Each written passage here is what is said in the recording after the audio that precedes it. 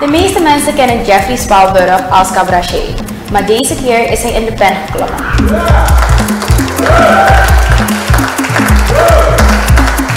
Op woensdag 27 maart stelde cabaretier Jeffrey Spalburg zijn allereerste boek Ik ben jullie meester voor.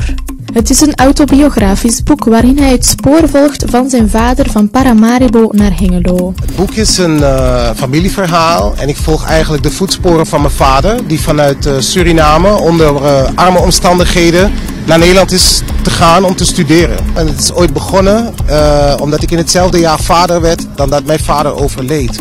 En dat zette me aan het denken van, ja, wat voor soort vader wil ik zijn? Weet je, Shair, ik wilde je dit niet vertellen en nu moet het toch.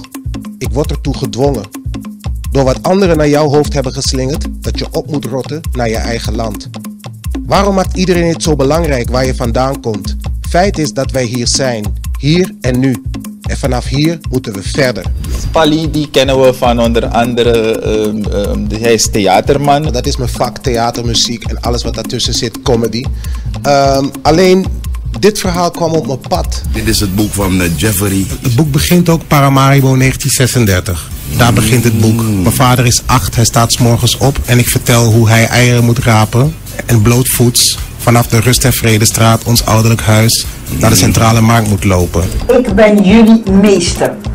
Ik heb het gelezen en het, het, het leest geweldig uh, goed weg. Het is ook geen zielig verhaal van, oh weet je, het is, het is een verhaal van kracht. Het boek nu is uitverkocht in Suriname, dat, dat is de mooiste kroon eigenlijk.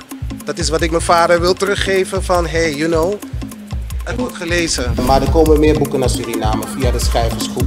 Dus ik kom terug. Suriname, dankjewel. Grand Tangi. Dit was Spally. Tot zoen.